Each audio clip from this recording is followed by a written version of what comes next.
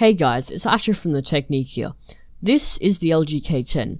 It's my daily driver, but recently it was dropped in the water when I went fishing. So, this is a detailed repair guide if something like this ever happens to you. In the description, I have a great cheap website that sells nearly all OEM parts, other than the motherboard.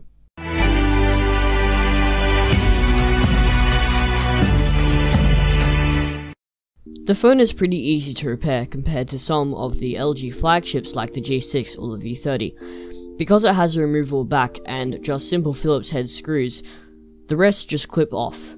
Start by of course turning off the phone, removing the battery, SIM and SD card. The only tools that will be needed in this video is a small, preferably magnetic Phillips head screwdriver, a leverage tool like a guitar pick or credit card, even a plastic knife, some tweezers and a small flathead screwdriver.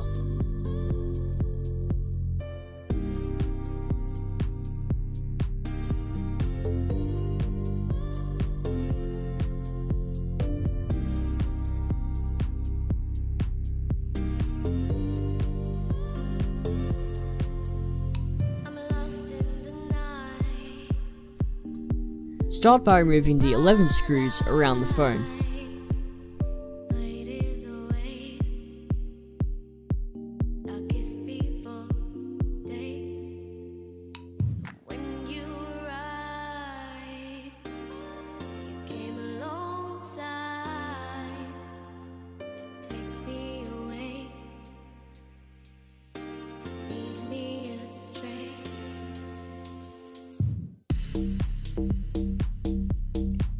Get your leverage device, the guitar picks usually work the best, and then start working your way around the phone trying to lever the middle support thingo up.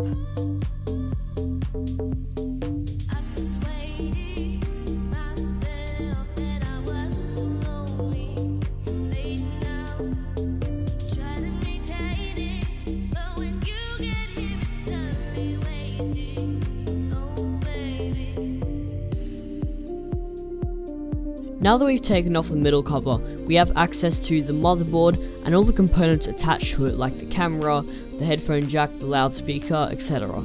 And these components sort of clip on and off really easily, and this is where the Phillips, sorry, the um, flathead screwdriver comes in, because you can put that under there and wedge it up and it just clips on and off. There's no screws generally required, the camera doesn't have optical image stabilization, but I am surprised to see how much give there is around with that ribbon cable.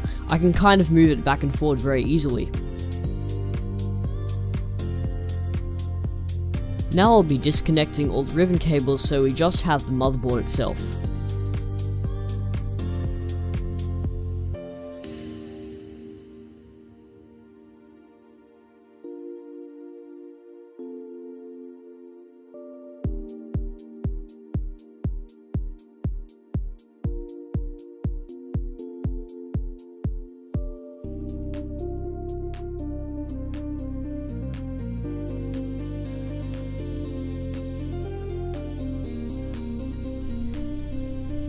Here's the motherboard. The only thing left would be the display and attach the earpiece and the vibration motor, along with some heat sinks and a couple other chips underneath.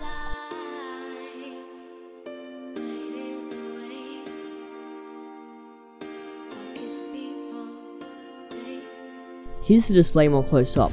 I could have taken off the earpiece, the front camera, and the vibration motor, but I just thought that it would be a bit hard because that would mean splitting apart even more adhesive.